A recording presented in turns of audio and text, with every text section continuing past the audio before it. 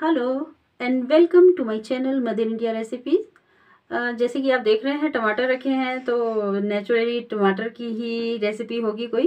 तो मैं आपको बता दूँ कि टमाटर की मैं रेसिपी बना रही हूँ टमाटो सूप बना रही हूँ, कि जैसे कि आजकल सर्दियाँ हैं तो सूप तो चलिए बनाते हैं टमाटर का सूप तो सबसे पहले हमें टमाटर लेने हैं। आपके मेंबर्स जैसे हैं फैमिली मेंबर उसी के अकॉर्डिंग ले लीजिए। आपने जितनी सूप बनाने हैं और उनको बड़े बड़े पीसीस में इस तरह से फाइनली चॉप कर देना है। इस तरीके से दो बड़े बड़े पीस कर देंगे।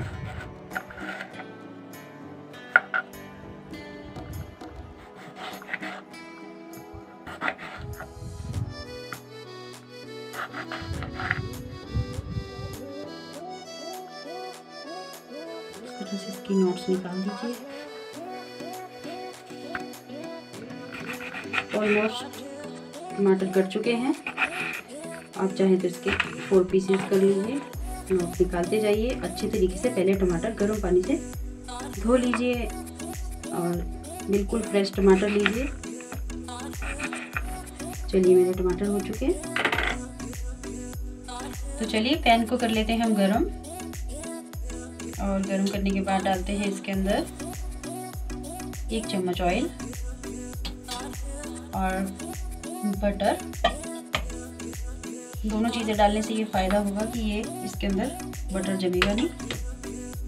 और इसे थोड़ा सा हल्का सा गर्म करना है।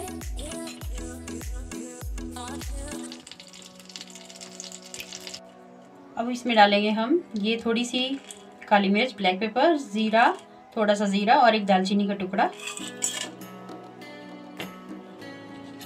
ज़रा सा इसको भी चलाएँगे। अब हम डालेंगे इसके अंदर एक बड़ा प्याज, रफली चॉप किया हुआ। और प्याज के बाद डालेंगे इसमें पाँच सात लहसुन की कलियाँ। अब हम इनको गर्म करते हैं। लेकिन हमें इसे भूनना नहीं है।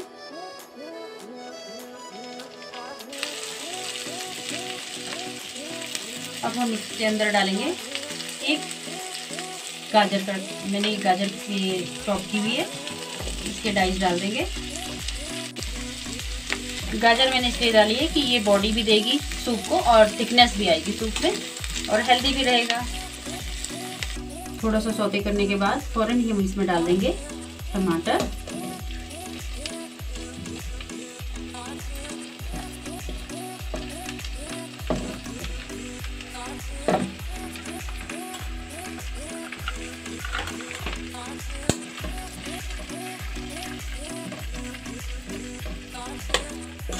भूनने की ज़रूरत नहीं है। अब इसके अंदर डाल देंगे हम पानी। जिसमें जाएगा नमक।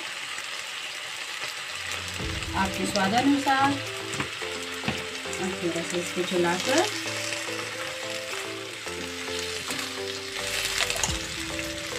नमक तो आपको मालूम होगा कि मैं सेंधा नमक ही यूज़ करती हूँ। सेंधा नमक बहुत फ़ायदेमंद है। हम जब जिम जाते हैं तो वहाँ भी सबसे पहले हम यही कहते हैं कि हम जो है सेंधा नमक खाएँ। तो हमारी बॉडी से टॉक्सिन्स निकालते हैं।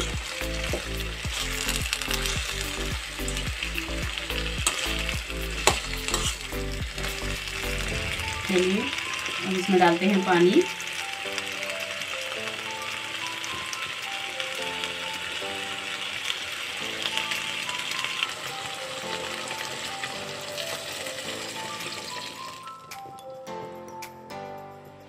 पानी आप इसमें थोड़ा ज़्यादा डालिए।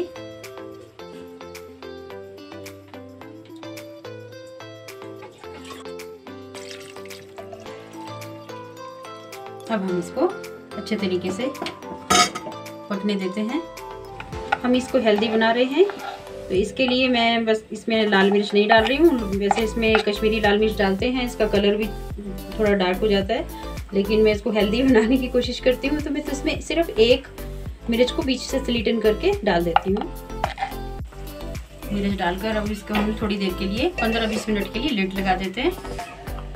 तो चलिए, जब तक सूप होता है हमारा तैयार, तब तक हम लेते हैं इसके लिए। जो मेन चीज़ है, इसके साथ कॉम्बिनेशन है क्रूटॉन्स का तो बनाते हैं हम क्रूटॉन्स इसके लिए मैंने ली है ये मल्टीग्रेन ब्रेड आप ब्राउन ब्रेड कोई भी, कुछ भी ले सकते हैं। आप इसकी ये सारी साइड निकाल कर और इसकी तैयार करने हैं।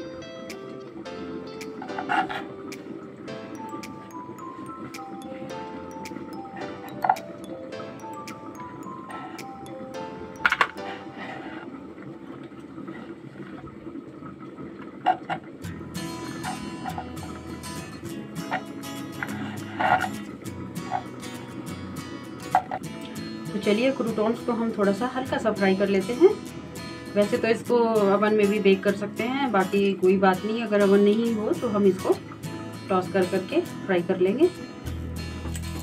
चलिए, इसमें हम डालते हैं थोड़ा सा बटर बटर को मिलाकर थोड़ा सा बटर डालकर हम इसमें डालेंगे ये क्रूटॉन्स इसे हम फ्राई कर लेंगे थोड़ा सा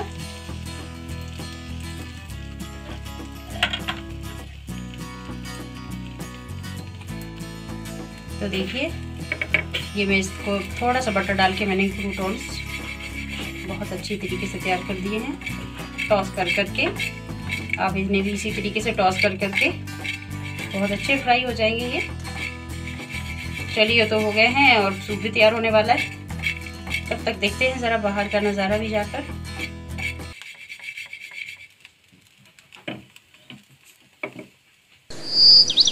ये देखिए, आप लोग कहते थे ना कि आप अपने घर के आगे का नज़ारा नहीं दिखाते हैं, शिमला जैसी जगह में रहती हूँ। तो देखिए, ये मेरी गैलरी है और गैलरी के सामने का व्यू दिखाऊँ मैं आपको।